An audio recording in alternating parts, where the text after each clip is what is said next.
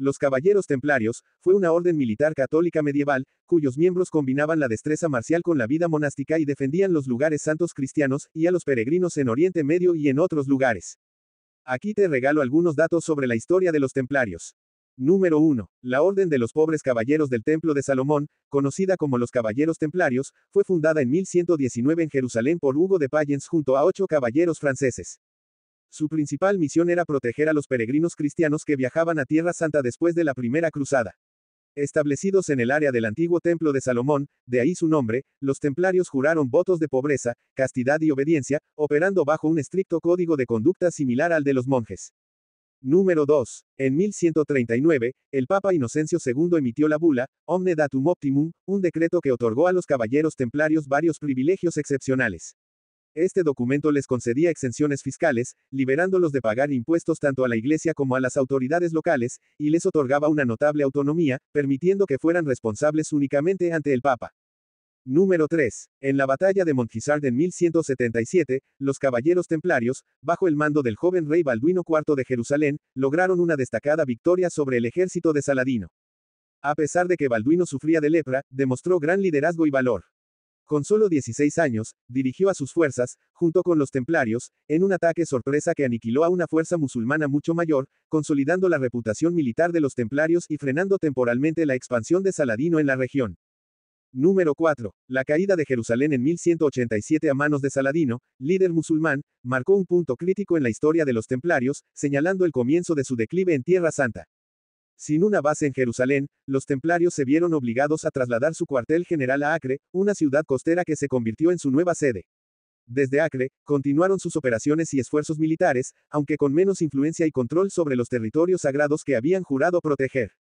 Después de la caída de Acre en 1291, que significó la pérdida del último bastión cristiano importante en Tierra Santa, los caballeros templarios se vieron obligados a trasladar su cuartel general a la isla de Chipre. Este movimiento marcó el fin de su presencia significativa en Tierra Santa, ya que perdieron su base de operaciones en el centro de las cruzadas. Número 6. El 13 de octubre de 1307, conocido popularmente como Viernes 13, Felipe IV de Francia ordenó la detención masiva de los caballeros templarios en su reino.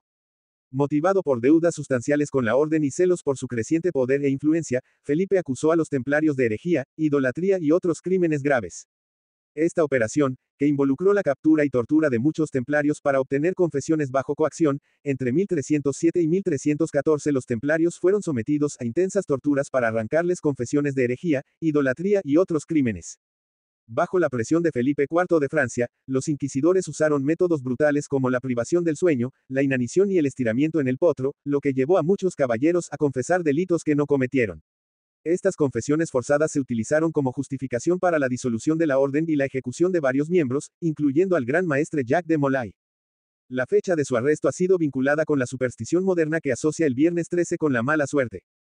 Número 7. No todo el mundo que lo quisiera podía pertenecer a la orden de los templarios. El primer requisito era tener un origen noble, así como tener dinero. Ellos mismos se tenían que aportar todo el equipamiento necesario como armadura, caballo, armas, así como sirvientes para ayudarles en todo momento. Número 8. La armadura templaria estaba compuesta por una armadura metálica que les protegía de las espadas. Bajo esta armadura hecha a medida, prendas acolchadas evitaban los golpes cuerpo a cuerpo. Se calcula que las primeras armaduras templarias pesaban entre 30 y 35 kilos. Esto fue evolucionando hasta tener armaduras de poco más de 20 kilos, lo que podía dar una gran ventaja en un enfrentamiento cuerpo a cuerpo. Número 9. El armamento templario incluía lanzas largas, espadas, hachas y mazos, que eran las armas que se utilizaban a caballo. Cuando se enfrentaban a pie las dagas y espadas eran las armas elegidas. Número 10. Los caballeros templarios se entrenaban desde niños. Con apenas 8 años eran pajes desarrollando funciones de mensajero. A partir de los 14 pasaban a ser escuderos para aprender de primera mano el arte de luchar.